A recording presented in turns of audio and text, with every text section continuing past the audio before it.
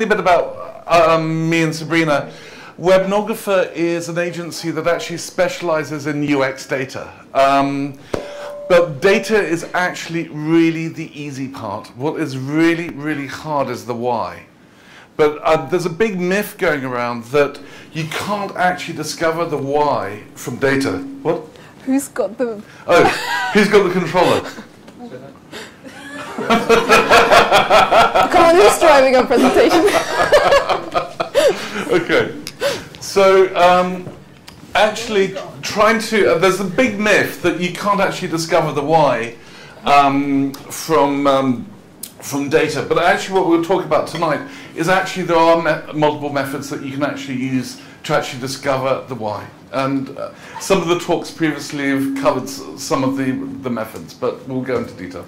Okay, so um, one question we had is uh, why numbers? And the question, uh, why numbers for UX? And the question today is really, why not? Um, we've actually now got the 20th anniversary of Nielsen's, Nielsen's famous law that we only need to test with five users. You don't have to worry about all the other people who you might be testing because um, there's a big diminishing return. You can run lots more tests, but you're not going to find out more. But actually, there's quite a big challenge if we still uh, believe this today. And I think. Yeah, I mean, the basic thing when Nielsen did this 20 years ago, uh, he came up with this constant, which is 31, uh, 0.31. And what that basically says is the visibility of the issue is about 30%. And over these last 20 years, we, we've really learnt about design. There's really fantastic designers. And if you look at computers 20 years ago, they were clumsy. A lot of them were what uh, Sabrina calls black screen of deaths. Um, uh, even the web 10 years ago was really poor. And so what we actually see nowadays is a massive improvement in interaction design and also the users. I mean, 20 years ago, my mother didn't use a computer. Nowadays, she's never off a computer. Um, it's, it's the way things are. And numbers are also, I mean, yeah, we can go on, to, yeah. Yeah, so the key to understanding Nielsen's Y5 is he really is just saying that any issue that has a visibility of 30%, you need five, pe five people and you discover 85% of the issues. So we're not even trying to quantify.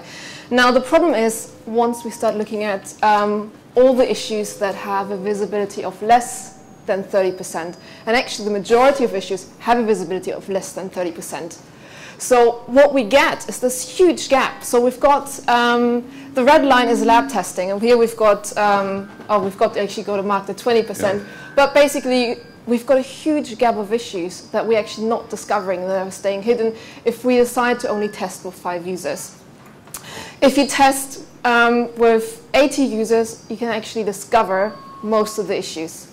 And so this chart here is based on the theory. So this uses Nielsen's theory. Now, we also got some data. Okay. Do you want to talk through? Yeah. so when we actually look at um, actually finding issues in the wild, what we actually get is we get, um, if we use the, the lab test, sorry, the test with 80, we're at this level up here. Yeah? All of these issues are the ones that are discovered. When we only test with uh, five respondents in the lab, we actually only get um, the long tail. Yeah, we're only discovering. We're only seeing 56, well, half of the picture, basically. We're missing the other half. All the other interactions where we have a visibility of less than 30%, um, we're not even seeing those issues. And we're missing half in the picture. Now you may say, okay, it's fine. We don't test with five users. We know we need a bit more. We test with 10. Actually, the picture is still terrible. You're still missing 45% of the issues that people can have. And what you can see here also mapped is um, you can see most of the issues actually have a visibility of around 5%. And it doesn't mean that they're not important. It just means they happen to less people, but they can actually be very critical for what the business goals are. Actually, that 5% issue may be the one that's going to drive your KPIs up if you fix it. It may be losing you those very important sales. So just saying, oh, it's only has a, got a visibility of 5%, we don't have to worry about it, it's not the case. That's actually what most of the most of the problems are hiding for, for customers that frustrate them significantly. Oh, the, the, okay. No, okay.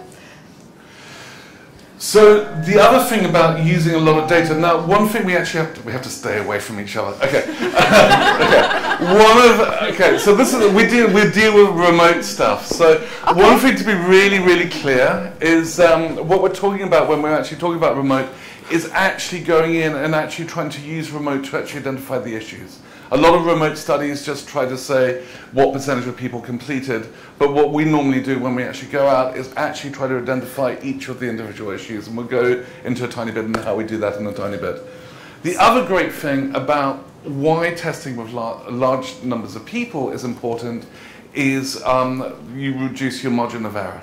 But we're still dealing with instrumentation error and we're still dealing with a number of other issues. So margin of error actually just means how important is this issue? I mean, okay, so if we have, a, as we say we have 50% of uh, people who it happens to, how significant is it? Um, how right or wrong are we potentially with this issue? Yeah. Or how confident are we that it is really important?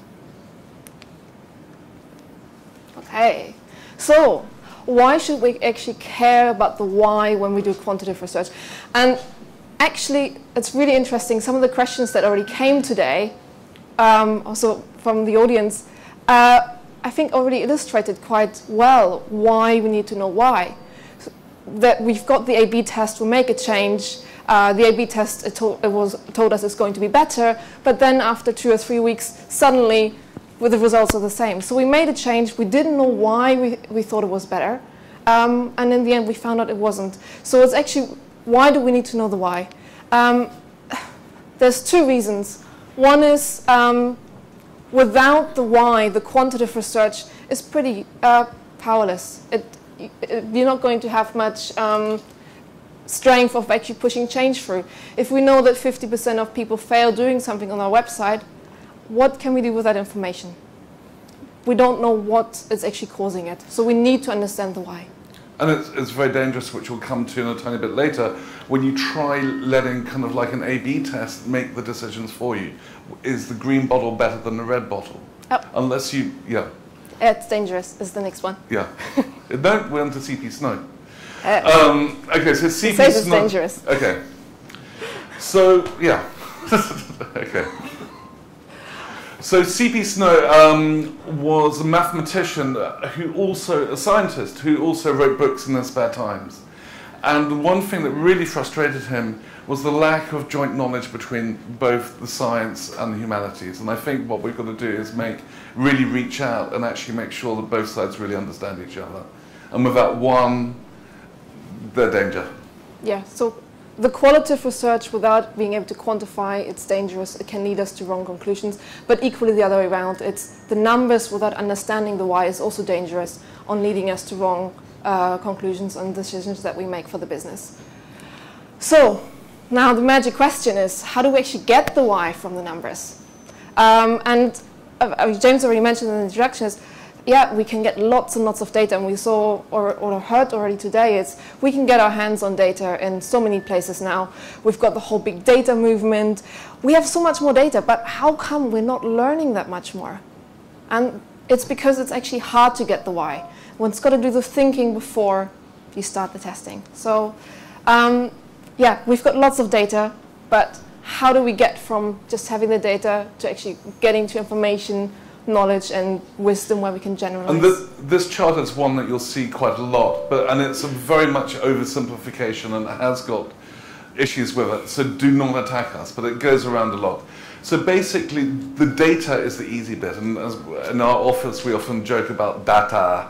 Um, but you need to be able to convert the data to actually something useful and actionable and something that you can actually tell the client this is what you need to change. So uh, those two guys are going to. They're quite old and they're dead, but they're really important. Okay. Um, one of them is Socrates.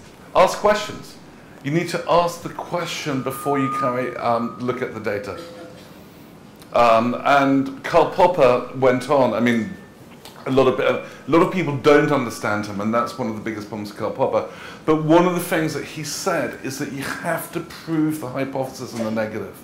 Um, he was somebody who came from a society, I mean, he was brought up in Austria, he was, uh, I think, Jewish. He had to deal with the whole Nazism and communism both claiming that they're a science. So what he was trying to do is he was trying to say, what is science and what is not science? And what he came up with is that you have to come up with a hypothesis that's proven in the negative.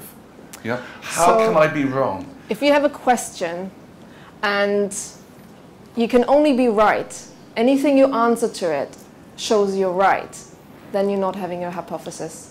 Then you, it's not science. But if you have a question and you can have an answer to it that shows you're wrong, then that's considered scientific. For example, I mean, we've got the famous thing of all swans are white. That's quite, uh, all, are all swans white? We can prove or disprove this. Uh, We can gather lots of evidence for white swans. We can be pretty certain that there's only white swans, but actually finding black swans in Australia will show us actually we were wrong.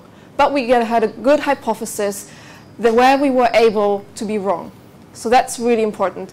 And just to go back to Socrates, it's having the question before you start your research. So a lot of things that we're seeing is people just collecting data just because, because we can. It's super easy now. But actually, the way you record the data, as um, as Simona explained on like biases, um, in the context you recorded, all that affects how we in the end interpret the information. If we come up with our question after we recorded the information, we can come up with pretty we can prove anything as someone said today Yeah. but actually we need to define beforehand what do we want to find out how do we want to record it why are we recording in this way and how can we be wrong that's the most important thing It also gets r- really dangerous when you start doing a lot of k-means analysis and clustering that you see. It looks very beautiful, but I, I mean, I was with somebody uh, earlier this year in America who was dealing with hundreds of millions of users. And the thing was that people were moving around the clusters. So they thought they had a good cluster set, but then people would dance over to the other clusters. So what was it actually telling them? It, was, it really was not telling them, it, it wasn't giving them any information. yep There's nothing that they could do about it.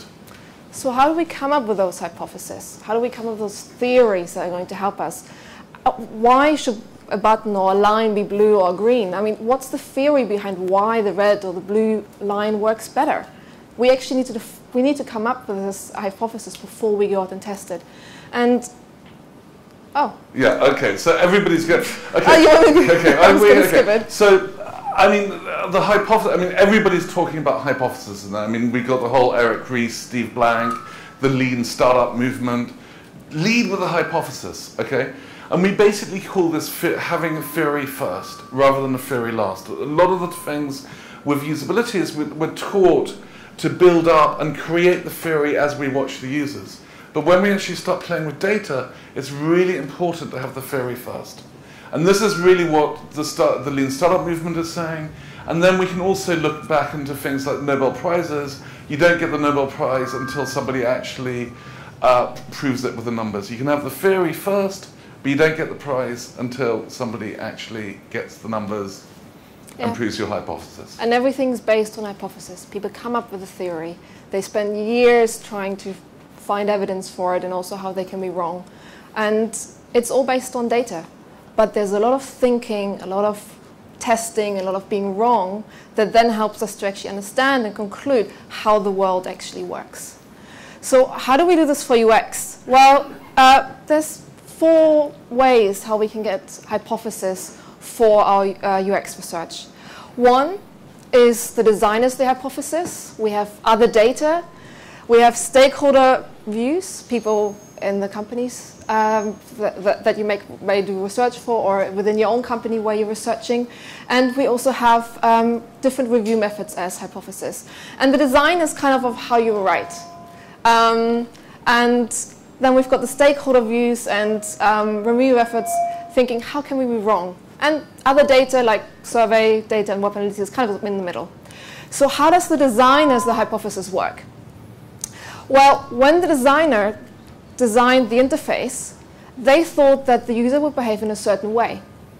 Based on that assumption, they created a process that they then implemented into the interface.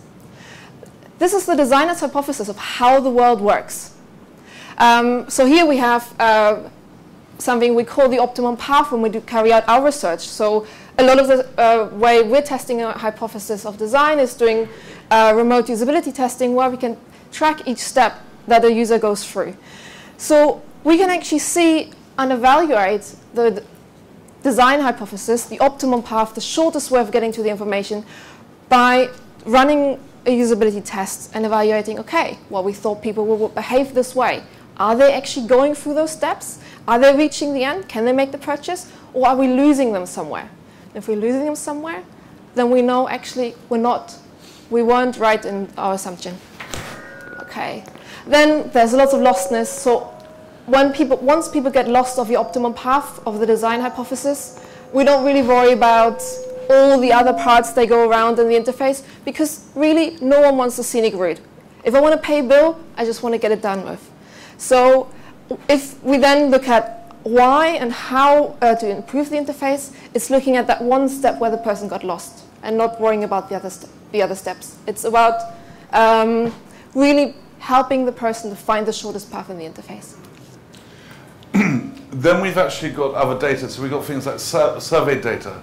We can actually, lab testing is very good for generating a hypothesis.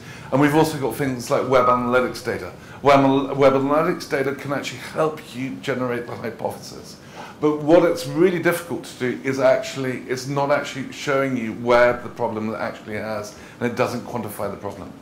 Yeah, but it has a lot of interesting ideas of how and why something can work a certain way. So having this data, we can come up with a theory and say, well, this is how we think things work in the interface and how people understand stuff.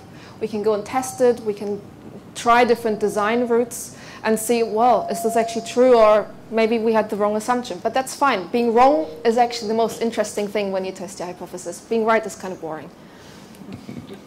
um, then we have the stakeholder hypothesis. So, you know, you got the person in the organization who says, this stuff doesn't work. People are doing this. And there's a lot of information that you can get from the different stakeholders. The programmers, where they believe something is wrong. You can get stuff from the marketing people. A lot of people believe, have massive arguments sitting around uh, big tables costing the client a lot of money saying, and these are all great hypotheses.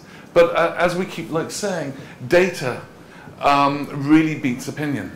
And we've got to actually go out there and we can actually test the opinion. Yep. The remote methods and data collection methods are really getting so cheap nowadays. We can go out and collect data and prove opinions right or wrong. It doesn't really matter. So we're quite terrible. Yeah. so you would say, if you come to a client and everyone's arguing, what a terrible situation. We're like, great. Everyone has an idea of how they think the world works. So we collect those opinions, those ideas, and also there's a lot of knowledge in those organizations, and we use those as the hypothesis. It's actually way more interesting when people are quite opinionated about how things work because we can go out and test it and get the data to support I mean, it. There's a great guy who predicted the US uh, election um, called Nate Silver, and he really encourages betting within the organization and actually getting people to put money up and actually say, I believe this is what the user's actually doing, and they actually put their own money towards it, is a great incentive for actually encouraging hypothesis thinking. We're still trialing that somehow. Yeah. Working on it. okay. And then this is actually, I think, another really, really interesting way of getting our hypothesis. It's the stuff we're actually really familiar with in UX. We know about review methods such as uh, the heuristic evaluation, the Nielsen's 10-point checklist, um, doing a cognitive walkthrough, asking ourselves at each step the four questions about does the user understand what they can do here, will they understand what to do next, what actions are available, we can use those uh, heuristics and go through the process um, at each step of the process of the, our design hypothesis and come up with additional uh, theories of how we think the user may get it wrong.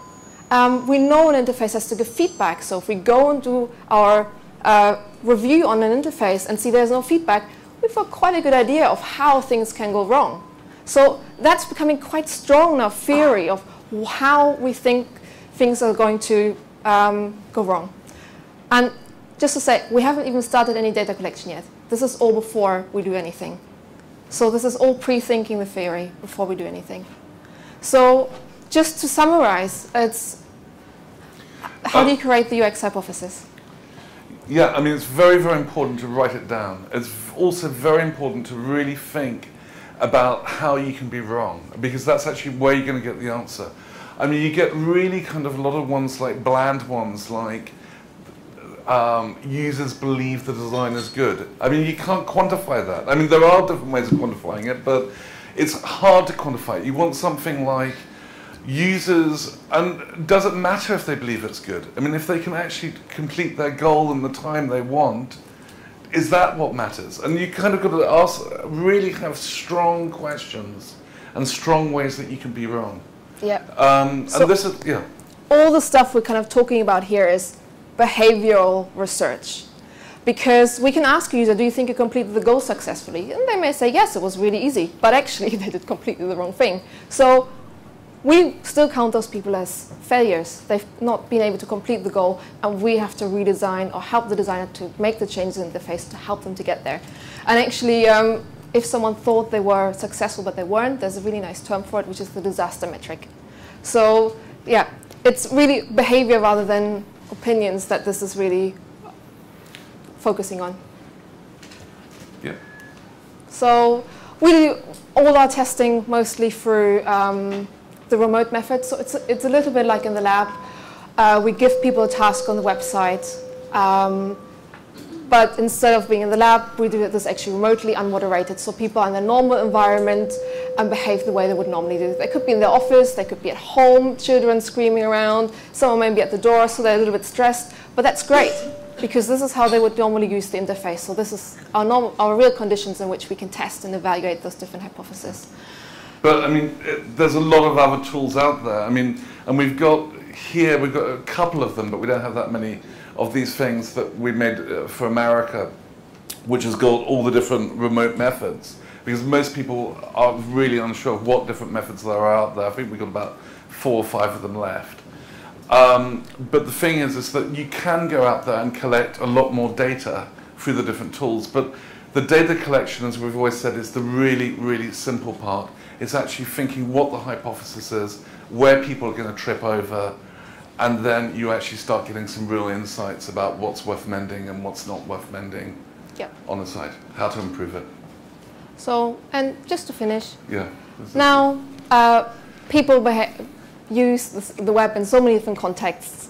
Um, so we can't really lab test this. You, we need to use um, more than just the lab and just the five. So you can test it with remote methods. So that's not just unmoderated testing, but surveys, online ethnography. There's so many different tools now that we can use with, with the internet of gathering information from those different contexts. So yes, we, we can collect data easily as long, and then if we have our hypothesis with it, we can actually learn from it. You. So I think any questions? Okay.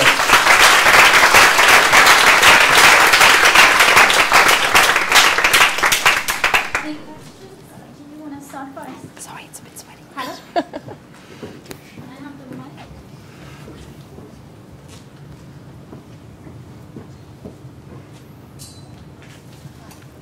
Just responding to the uh, statement that uh, data is, data is better than an opinion. If you had a UX department that was made up of all the book writing famous people like Jeffrey Veen, Jakob Nielsen, um, Jared Spool, and well, I can't think of either two, with their opinion be better than data? Well, you look, there, there, actually, there's actually some data on this. Um, I think there is, uh, what's, I can't ever remember them, the, the ones where they do the, uh, the UX method tests every two years and compare them. I don't know. My Um, short answer would be their opinion is a really interesting hypothesis I would like to test. So what I want to ask is, if you think of a website as a building or a car or a movie or a piece of music, people don't do A/B testing. People don't do A/B testing on those kinds of things. They have expert opinion. So I don't. This is what I don't understand: is why doesn't expert opinion count for anything in user experience design? I, I think it generates, I, I think as Sabrina said, it it's, acts as a really good hypothesis. And I mean, we do A-B test music. I mean, there's music that's really successful, music that's not very successful. There's a large sample of music out there. I mean, there's a lot of really unsuccessful people, um, what's it called, performing in bands and, yeah.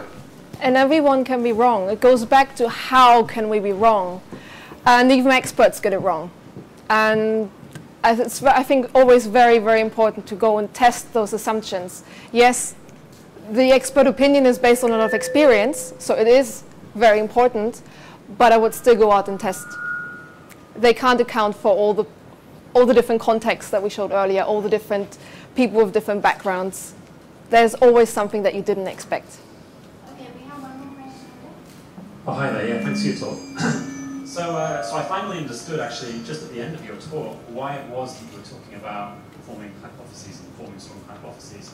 Because if you are testing remotely, you have to give strong hypotheses so you're testing against a kind of discrete set of, of tasks, and then you can get you can test those things, and that's what you get out of it. Um, so of course, the, the, the, benefit of having like moderated tests or sitting one-to-one with somebody is you can allow your tests to roam and you can kind of pick out, follow your nose a little bit and you can test things that you weren't expecting.